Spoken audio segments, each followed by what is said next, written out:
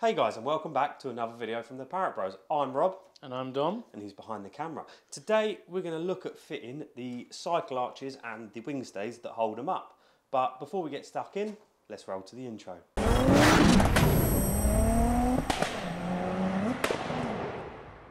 So guys, today we're looking at cycle arches. There's many different options of these. These are a, from Mofast, lovely carbon light work. They're full rounded.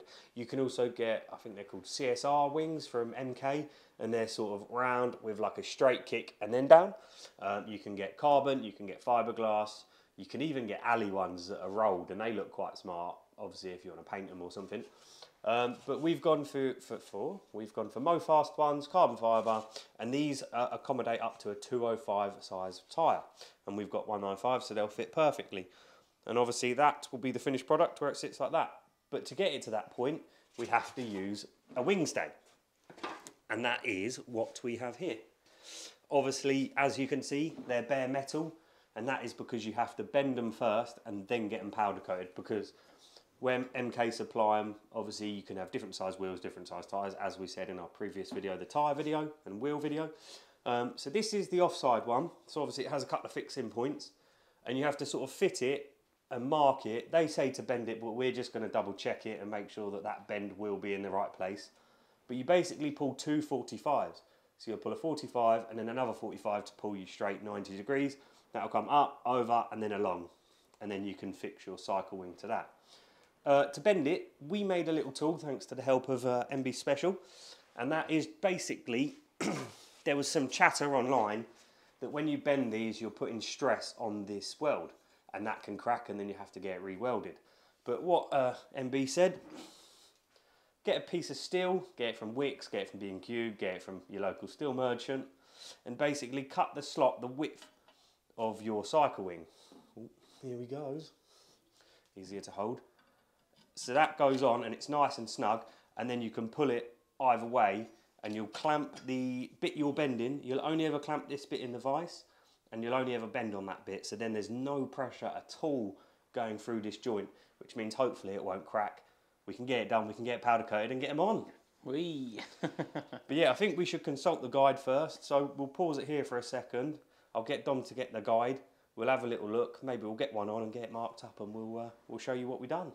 The other thing I will say before we pause it is you're going to need something for bonding. Um, okay. Once fitted, obviously you've got to get them powder coated first anyway, so you'll never get it all done in one day. But there's a couple of means of fixings. Now we're probably going to go for physical fixings like a bolt or a nut or a screw or something because you've got two options really screwing and bonding.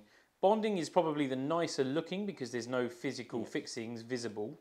However, if you are doing lots of track days and it's getting a real workout, that could quite easily get wind under it, get loose and take off. So it might not, and if you know what I mean, if you've never had any issues or you can fiberglass them on or whatever, then happy days. But we're gonna put a couple of fixings in, easy on, easy off, and also We'll use some nice sort of countersunk black dome washers. So they'll sort of blend into the carbon anyway. And the other thing is that you have to bear in mind when you go for an IVA, you're going to need to have a repeater, uh, an indicator lamp in the wheel arch because it's the most extruded part of the car at the front.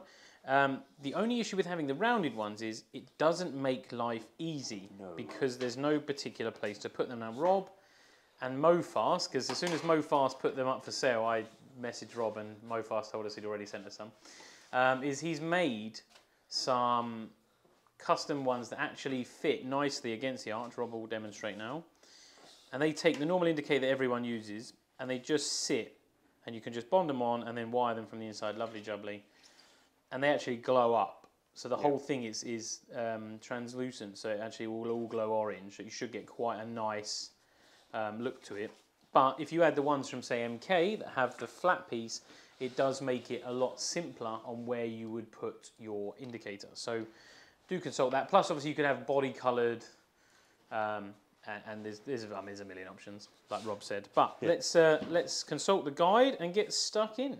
Now we've disassembled the car and we probably should have done this before we fit the brakes because I had to take the caliper off to do undo the bolt for the caliper I had to take the disc off, sorry. So yeah, we got it on now. We just wanted to see it. It's reasonably strong. So it says to pull the first bend just where this tube meets that, 45 degrees, and then you'll 70 mil up, then pull another 45 degrees, and that'll pull you straight across the arch. Obviously with the back, it's a slightly different distance, but you still pull the bend at the, the weld. So what we'll do, we'll take it off. We just wanted to check that that looks right. We'll take this off, we'll get it in the vise, and we'll show you how we're gonna bend it to hopefully not crack that weld. So guys, we got one prepared earlier. I don't know if you can see that. But basically, we've got our tool and we had to chamfer off the edge so then when you pull it, it sort of pulls round the vise. Um, obviously we've slotted that, that's the thickness of the, the steel we're working with. with. Obviously you got your bar in the vise, we're not going to touch the weld bit at all, we're literally going to use the tool, go from underneath, and put it onto the, the bit we're bending and just pull it round 45 degrees. The way we've done this, obviously it says the, the bend is tight to this weld. So we've literally just got a gap of the thickness of the tool and that, that gets us the perfect bend there. And then in a minute we'll show you what you need to do the next one. But if I have a go at pulling this, it's a bit tough. Normally Dom would step in and give me a hand, which he will. And you just pull it round. Don't be afraid to stop and check. Go a Yeah. bit more. This is why we've had to chamfer the corner of the tool because basically the bend goes at the weakest point, which is right on the edge of where the vise is. Um, Rob's having a murder with this. I had, I had a shocker earlier on. I, I, oh, here we go. Yeah, so lay that on there, and you can see if the gap gets larger as it gets further away, then you're not quite at Yep. 45 And yet. you just need to give it a little bit more So of a tweak. Come back over that, or get yourself something and draw a 45 and then just hold it on. So if we get the tool back on, and then we give it a little bit more. I think we need to come out a little. I think we need to come out just a a tiny tiny bit. bit.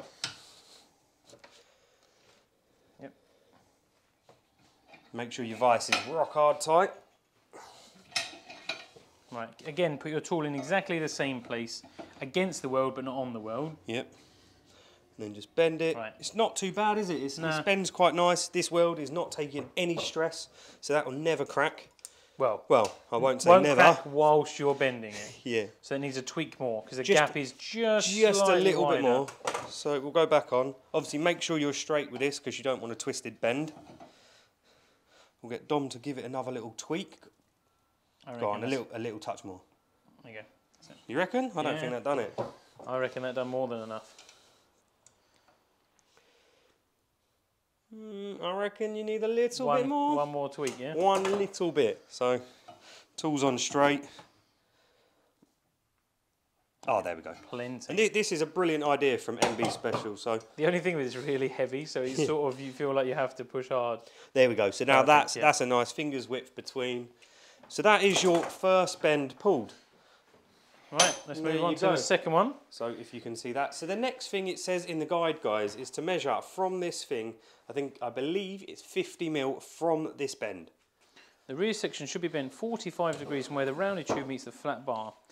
Then another 45 degrees bent on the flat bar at 50 millimeters from the previous bend. So get yourself your set square, measure your 50 mil from the previous bend. Now, what I will say is that the first bend isn't as important because you go as close to the weld as possible now. The second bend, to get your bend in the perfect position, you have one of two options. You either test test one and then measure where it comes versus where you want it to go. Or what we found is in our vise with that tool, if you put the the paint the um, the drawn line, Rob's having a shocker here. If you put the drawn line so it's just visible on the edge of the vise, so the pen the paint pen mark is literally as if we'd have got the pen and drawn up the side of the vise there. Yep. When you bend it, that keeps your 50 millimeters between bends. Yep. Also, make sure you're bending the right way Yes. because it's very easy to get disorientated and do it wrong. Um, So now we can pull this bend in. Obviously, this one weren't too bad, was it? But No. if we have another little go. And what with this one, guys, it's quite easy to tell when you're at 45 degrees because you've got your parallel here, you want your parallel there. tiny bit more. Yep. Okay. You happy with that? We'll have a little check, shall we? Let's have a little look. Oh yeah. Perfect. Perfect. So cool. And right. Let's, let's check the old 50 mil difference, shall we? Yeah, yeah. Go on. See how good we are, or not. oh, 49 mil. We'll take that. We'll Right. take that all day long. To, to the car. so that's the finished article. We can get this bolted on the car temporarily because it's obviously going to have to go and get powder coat from Alloy Stars. But what we'll do, we'll get to the car, we'll get this on, and we can sit the wing on and see what we're looking like. Yes, we shall. Now, you can, of course, obviously paint it or powder coat it. We're just powder coating it because everything else is powder coated. And Alloy Stars do an amazing job. Plus, it's got to look new in it. Yeah, it has got a look new. we might, I say might, we might even add a third fixture point because what you've got, you've got two points, so it can flex. Um, so what the best thing is for rigidity is to have a triangle. So you have three fixture points in a triangle. So I think we might personally add another little fixing point on just so we don't have any flex and no cracking. Now we have the the bracket support fitted, we that is the second time we've done it. So if you follow the guide, it's for I think believe CSR uh, wings, which are round and then they're uh, they're sort of curved with a straight, and then they come down. So obviously that was following the guide. But then when we put ours on, ours are just round, like like sort of circular. So there's no sort of flat spot. So when we had the 50 mil at the front, 70 at the front. sorry, 70 mil at the front and 50 at the back. The gap was different between the tyre, and that's obviously where the CSRs is different. We So- realised, yeah. Yeah, so then we took it off again. We uh, got the bend flat, and then we re-pulled our bend at 70 mil. So now they're both equal. Um, obviously, the next thing to do, you get the you get your uh, bracket powder coated, or you can get your depends on how you're going to fix the arch. You can either get your holes drilled now, so then when it's powder coated, the, the holes are powder coated as well, or you you you silicone it on. But that is basically how the arch goes. The only thing we've got to work out is where on the the bracket that the arch sits, whether it goes more to the back for spray, obviously more to the front. So we're going to have to consult the IVA manual for that. Yeah, there's a few things because it can go left and right as well, can't it? Yeah, you can go over to the left. There's not much play. The rules are it needs to cover the outside edge of And the, the, tyre. and yeah. the inside. Yeah, but You need to obviously, cover both. yeah, yeah. So it needs to cover both. It needs to be obviously bigger than the tyre itself. But I in UK law is the wheel rim is and the tyre isn't allowed to protrude the external of the vehicle. So, but I mean, you wouldn't you wouldn't have it anyway because it would look weird. Ideally, you want it level and level. Yeah, I think we're just going to try and go Central, central yeah. because then when you see it from the front, the wheel is centre of the arch. I know on my Westfield, I, I struggled because I had quite a dodgy offset. It was well far over and it looked horrendous. Plus, But- you want spray. If it's in the middle. Yeah. The spray won't come out the sides. But we're, we're going to drill them and we're going to fix them. So we will do that. We'll get them off for powder coating, and then on a later video, we can obviously show you them all fitted and powder coated and lovely. And like I said earlier, we're also going to add a little bracket, um, just so you have that triangular fix. Not everyone has to do that, but um, that is one of them. Should we take a look at it? What it looks like side on? Yeah, should we? I'll turn the wheel and Yeah. then we can have a little look side on. So this is it side on. This is it fixed. Obviously, you fit to the bottom um, that ball joint. One thing I will say, the bracket only had a, I think it was like a 14 or a 12 mil hole drilled through, and we had to up that to 14 mil because of the size of our bush. We reckon you're going to need to do something with the king nut because it doesn't actually have enough thread coming through to actually put a split pin in. So we're going to have to address that That'll later probably date. be a nylock. And then the other one obviously goes onto your brake caliper fixing point. What I was saying is obviously here you used to have a speed sensor or a, an ABS sensor. Yep. There's a perfectly good thread there, so we could potentially weld a little bracket with an L shape onto there just to give you that triangular fixture to make that extra solid. You don't need to do this, guys. But for us, we're doing it once, we're doing it right, and we don't want any breakages. We don't want this falling off. So we're going to be fixing everything. Do you want to spin it round as well so we can see it from the other side? Yeah, mate. Give us a bit of lock to lock. And just stand back a bit. Now look at that. That is with the arch just resting on. But if we roughly go sort of centre centre, And if you can imagine there was a lesser gap at the back, it Yeah. weird. and that's not even there's not even much clearance in that already. I mean, so- you kind of hope that you're not going to get suck things in like stones and rocks and twigs and whatever. But No. you do want a slight gap because if you do flick up stones with the water or whatever when it's wet, you want somewhere for it to go rather than just smashing your arch to bits. But yeah, that is not a bad video. The only other things we've got to do, like we said earlier, put the indicator in. Do you want to show them what it looks like more further forward or more further back? So Yep. you get an idea of.